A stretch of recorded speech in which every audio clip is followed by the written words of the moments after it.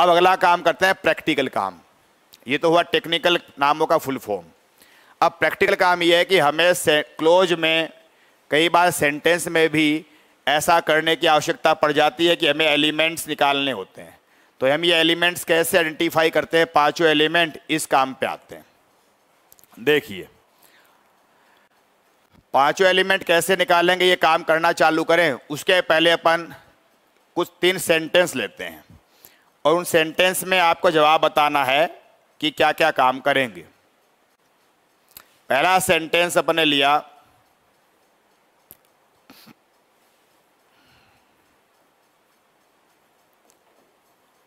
Rahul is going to school दूसरा sentence लिया।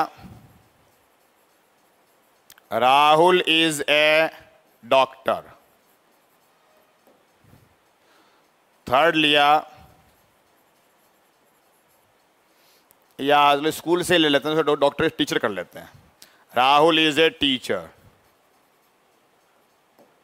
और अगला लेते हैं, राहुल टीचर्स इंग्लिश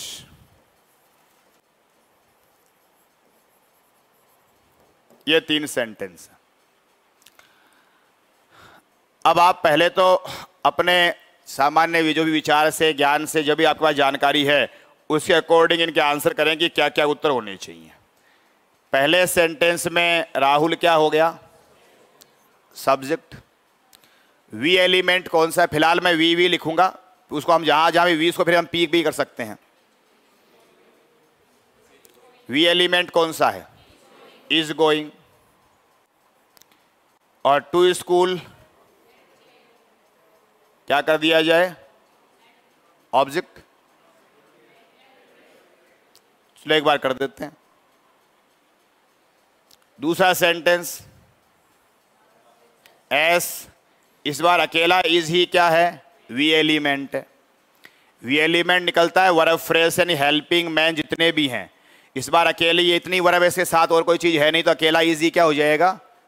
वी एलिमेंट बन जाएगा। इसमें अकेले ये और अकेले ये मैन वर्ब बनाएगी। या ये हेल्पिंग मैन मिला के वी एलिमेंट इसके बाद में आओगे ए टीचर ये भी फिर से वगैरह ओ कर लेते हैं। और लास्ट में आओ। सब्जेक्ट ये वी और इसे भी फिर वो कर देते हैं। हाँ जी, क्या बनेगा?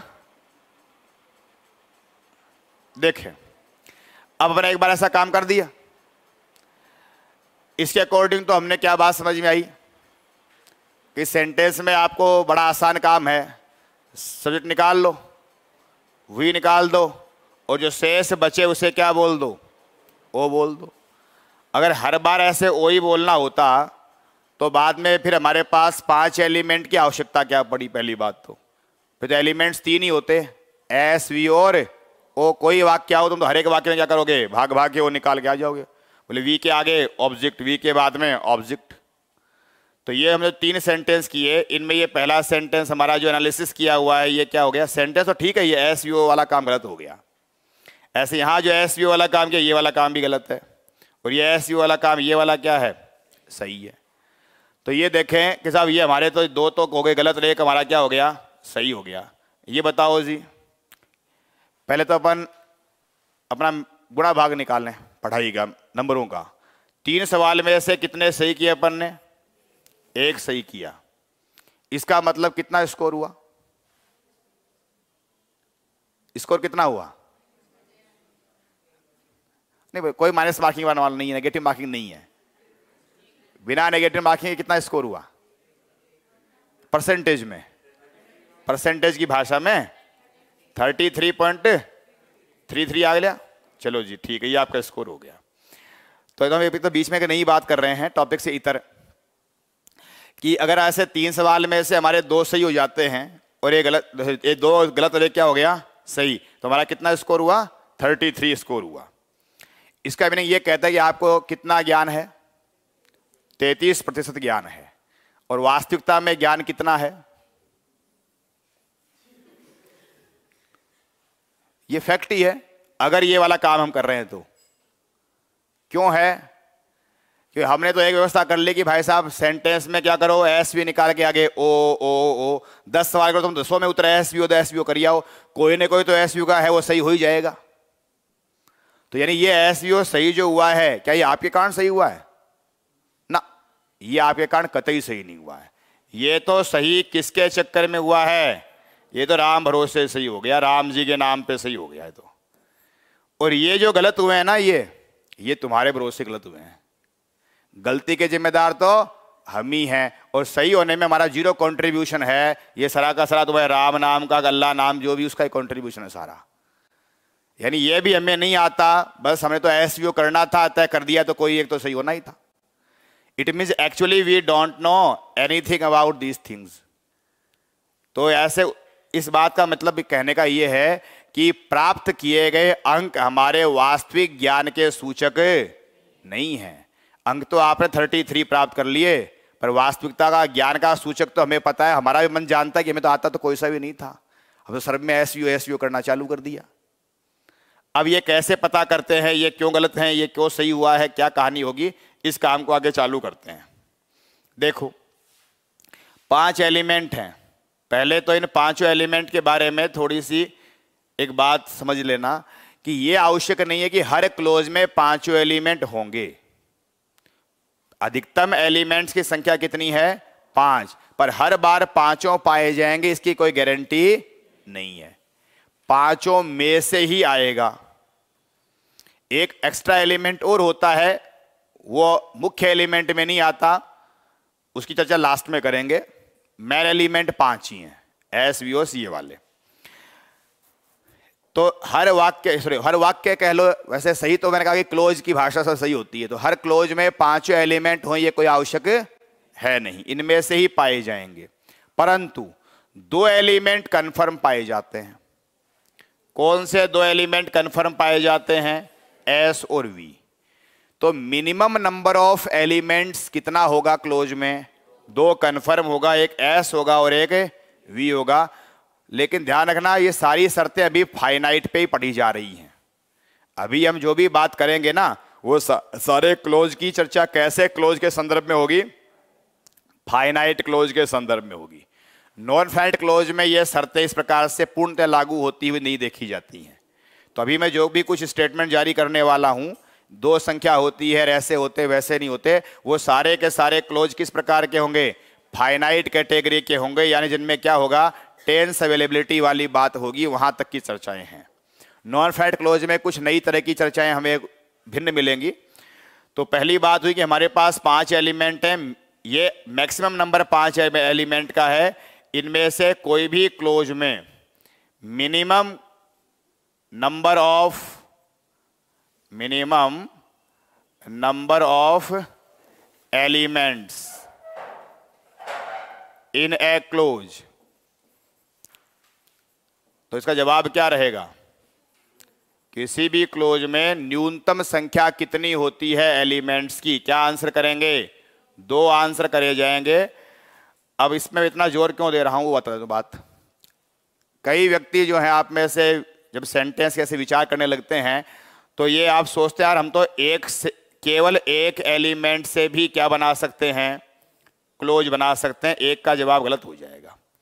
मिनिमम हमारे पास जो नंबर होगा, वो क्लोज में कितना पाया जाएगा? दो ही पाया जाएगा। एक जवाब गलत हो जाएगा। एक का आंसर गलत क्यों हो जाएगा? पहले तो वो देखें आप। जैसे हमारे पास एक मान लो एग्ज़ाम्पल लिया और आपने इतना ही बोल दिया गो क्या बोल दिया? गो और पूरा अपने आप में एक सेंटेंस हो गया। और अगर ये एक सेंटेंस है तो इसमें क्लोज भी कितना हो जाएगा? ये ही क्लोज सेंटेंस में क्या है? उसके लोअर रैंक का नाम क्लोज है। या आपने ऐसे बोल दिया रन यानी हिंदी में जाओ, दौड़ो। तो ये रन गो ऐसे जो हमारे पास सेंटेंस दिख रहे हैं या ऐसे जो क्लोज दिख रहे हैं, इनमें आपको क्या दिख रहे हैं? रन या गो आपको ओनली कौन सा एलिमेंट नज़र आएगा? वी एलिमेंट अभी आपको इसमें एस दिखाई नहीं दे रहा और ओ सी वगैरह भी ही नहीं।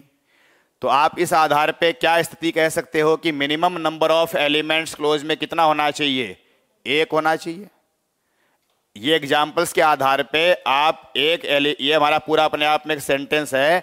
इसमें तुम्हें कितना एलिमेंट दिख रहा है? वी नाम से ओनली एक ही एलिमेंट दिख रहा है। अगर एक एलिमेंट है तो फिर ये जो मैंने ऊपर स्टेटमेंट दिलवा रखा हूँ कि minimum number of elements clause में कितने होंगे? दो होंगे, एक का जवाब नहीं है।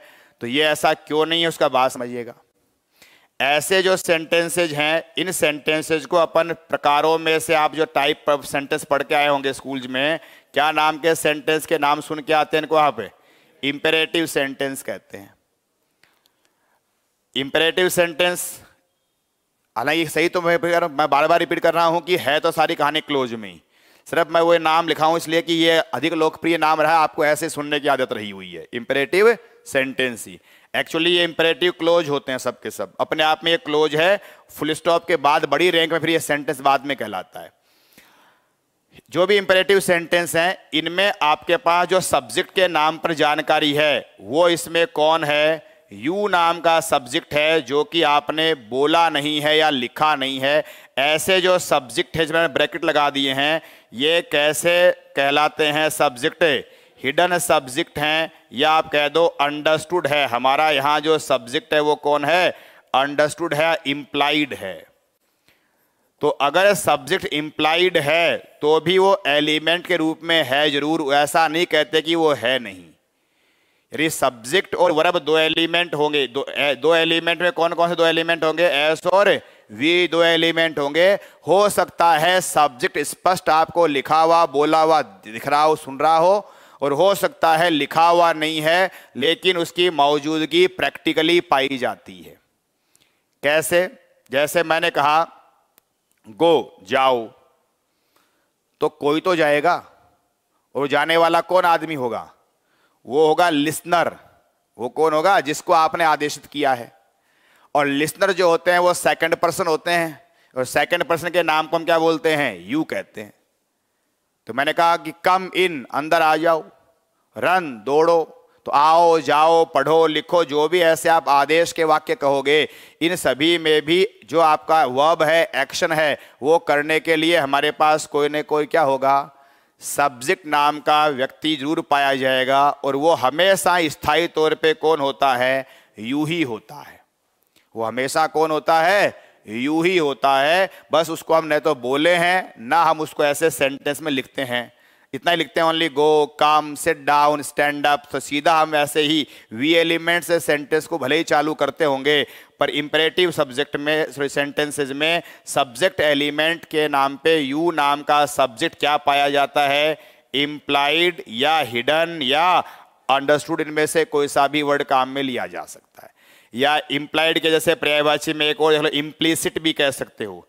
इम्प्लीसिट ये दोनों एक जैसी कहानी है। इम्प्लिसिट बोलो इम्प्लॉय ने अंतर्निहित है, यानी छुपा हुआ है। तो ये सारी बात किस बात के लिए बताई गई है? कि minimum number of elements in a clause का जवाब कभी भी दो नहीं करना है। ऐसे उदाहरणों को देखकर कई बार आप विचार कर लेते हैं कि यार, एक एलिमेंट से काम चल जाता है वी से ही चल जाता है। वी से नहीं चलता है ऐसे वाक्यों में बस दिखता वी है एस भी है ज़रूर that is hidden that is implicit that is implied that is understood इनमें से जो भी आपका नाम अच्छा लगे, उसको प्रयोग किया जा सकता है। और उसको दिखाने के लिए अगर आपको दिखाना हो, स्पष्ट करना हो तो हम उसको ऐसे सब्जेक्ट के एस लिखकर और यहाँ पे ऐसे ब्रैकेट लगा देते हैं। ब्रैकेट का मीनिंग होता है सब्जेक्ट है और वो क्या हो रखा है?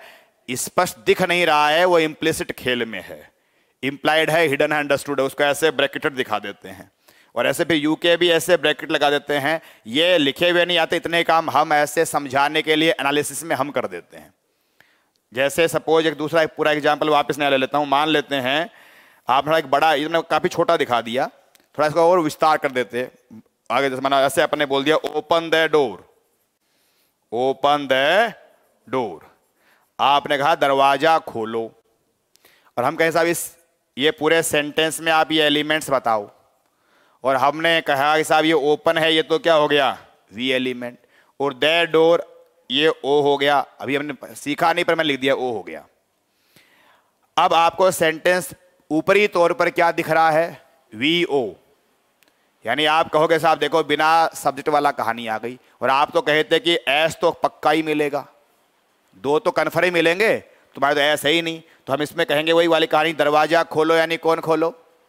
वही तुम खोलो, जो भी तुम्हारे सामने व्यक्ति है, उसको तुमने कहा है। रियल लाइफ में अजूम करना है। सेंटेंसेज हमेशा रियल लाइफ में काम है तो प्रैक्टिकल लाइफ में हम इनको कहीं ना व्यक्ति से संबोधन करके कहेंगे। तो यहाँ पे आप लिखोगे ऐसे, अगर आपको समझाना हो डिटेल में तो इसके पहले एस ऐसे ब्रैकेट में लिख देंगे। और ऊपर सेंटेंस के नाम पर आप यहाँ यू के ऐसे ब्रैकेट लगा लेंगे।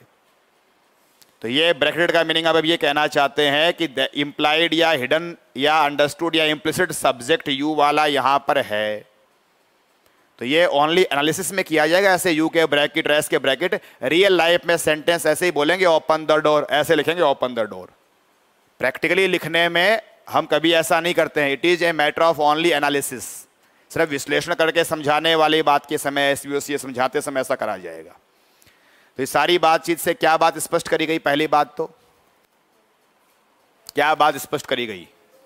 कि किसी भी क्लोज में मिनिमम नंबर ऑफ़ एलिमेंट्स कितना होगा? टू होगा। और दो एलिमेंट कौन कौन से हैं? एस और वी एलिमेंट हैं, और कभी कभी आपको ऐसे इंपरेटिव में एस एलिमेंट नहीं, ऐसी फीलिंग आ सकती है, उसका इलाज बता दिया हूँ। वो ऐसे फीलिंग आती है रियल में ऐसा नहीं होता है। सब्जेक्ट वहाँ भी होगा, और वो कोई ना कोई वहाँ पर हमारा उस काम को करने के लिए डूअर के रूप में प्रैक्टिकली जो सीमेंटिकली डूअर है, वो वहाँ पाया जाता है। वो काम कोई ना कोई व्यक्ति संपन्न करेगा ही करेगा।